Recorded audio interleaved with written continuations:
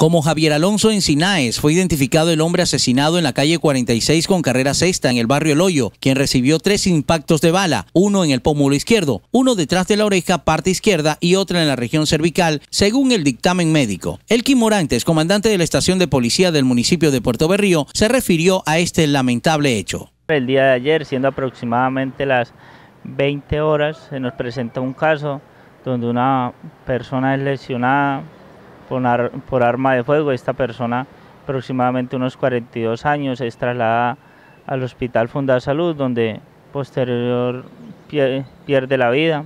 Eh, los hechos son materia de investigación y como punto fundamental o, importancia solicitarle a la comunidad más, más compromiso en el hecho de, de informar cualquier delito cualquier situación que observen extraña en su sector. Lo digo porque ayer lamentablemente no recibimos información del hecho como tal cuando se, se estaba presentando, sino fue posterior a que ya se encontraba un cuerpo tendido en la vía.